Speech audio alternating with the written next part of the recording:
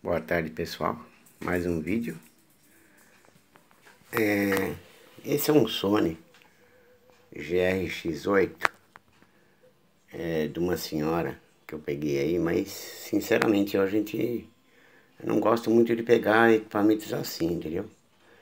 Mas ele entrou aqui com problema de leitura, né?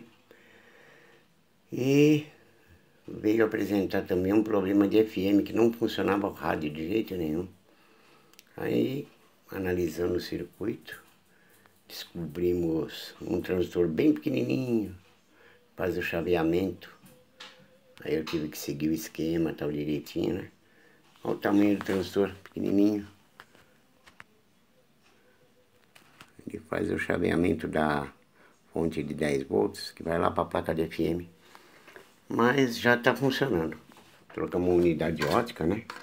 Que a pessoa preserva, é uma pessoa que gosta muito desse som.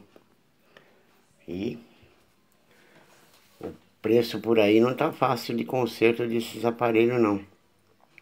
Que eu fui atrás de uma peça na cidade e presenciei na Sony uma pessoa dando entrada no equipamento bem semelhante a esse.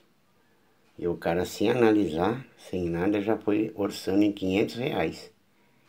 Eu achei um absurdo, ele nem abriu o aparelho, uma empresa lá na Salipigênia, e sem ver, sem ligar, sem nada, já foi orçando o aparelho no balcão, 500 reais, para consertar um som semelhante a esse aí.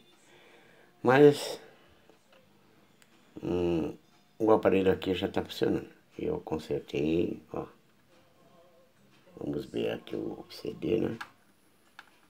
Ó, tudo funcionando, lendo direitinho. Que a verdade me faz mal, eu sei. Vamos mudar em música.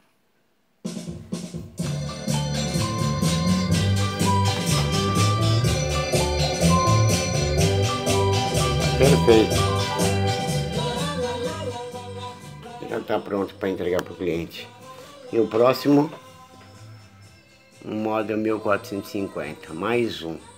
Ano passado entraram dois, né? Gradiente. Esse aparelho requer mão de obra especializada, está com problema de saída. Já foi mexido, para variar, né? Tem até uma listinha aqui, ó. Tem até uma listinha aqui que o cliente mandou, um cliente do Rio de Janeiro, amigo meu, né? Que confia nos nossos trabalhos. Mandou esse equipamento 1450 e em breve eu posto o vídeo dele. Tá bom? Muito obrigado pela preferência, dê um joinha aí para ajudar no canal. E uma boa tarde a todos. É de Golden Eletrônica agradece.